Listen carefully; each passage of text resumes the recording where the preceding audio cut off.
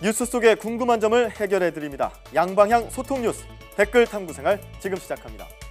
얼마 전 닥터 S 시간에는 상비약을 구비하거나 관리할 때 주의 사항을 알아봤죠. 방송 후 한 시청자께서 시럽 해열제를 상할까봐 냉장 보관하는데 이게 도움이 될까요? 라는 질문을 보내주셨습니다. 시럽으로 된 약 냉장 보관해도 괜찮은가요? 네, 냉장 보관하라는 지시가 있는 약만 냉장 보관하셔야 됩니다. 시럽은 냉장 보관을 하면 병 내부에 수분이 응결돼 가지고요 세균 오염 증식 위험이 오히려 높아지거든요. 그래서 시럽은 상온에서 고농도의 설탕으로 인해서 이미 세균이 증식하기 어려운 상태이기 때문에 상온에서 차광이 잘 된 곳이면 충분히 안전하게 보관할 수 있습니다. 네.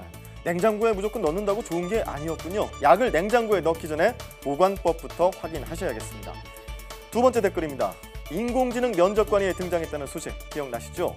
실제로 이 인공지능이 면접에 활용될 가능성이 얼마나 높은지 궁금해하시는 분들이 많았는데요.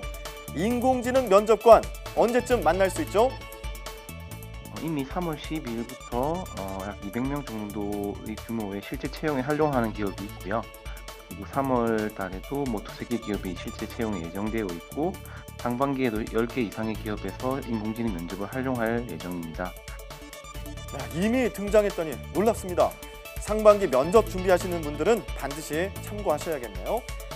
최근 청소 세제 주 1회 이상 노출된 여성은 폐 기능이 급격히 떨어진다는 연구 결과를 전해드렸는데요. 많은 분이 왜 여성의 폐 기능만 나빠지는지 궁금해하셨습니다. 먼저 연구에 참여한 여성 중 85%가 가정에서 청소를 도맡아 했고요. 직업적으로 청소 일을 하는 경우도 여성은 8.9%, 남성은 1.9%로 여성의 비율이 높았다고 합니다. 게다가 남성보다 여성에게 더 큰 차이가 나타났기 때문에 연구팀은 남성보다 여성이 화학물질에 민감한 것으로 보인다고 덧붙였습니다.